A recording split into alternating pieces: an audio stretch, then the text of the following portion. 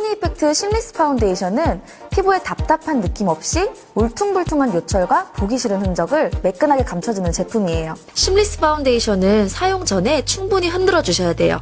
먼저 브러쉬를 사용해 파운데이션을 발라볼 텐데요. 같은 파운데이션이라도 어떤 도구를 활용하느냐에 따라서 피부결이 조금씩 다르게 표현돼요. 브러쉬를 활용하면 얇고 자연스러우면서 보다 부드러운 피부결을 표현할 수 있어요. 얼굴의 넓은 면부터 좁은 면으로 그리고 안쪽에서부터 바깥쪽으로 가볍게 터치해주세요. 커버력과 촉촉함을 동시에 살리고 싶다면 미지근한 물에 적신 pebble blender를 사용해보세요. 얼굴에 파운데이션을 적당량 올린 뒤에 pebble blender로 두드려주면 파운데이션의 밀착력이 더욱 높아져요.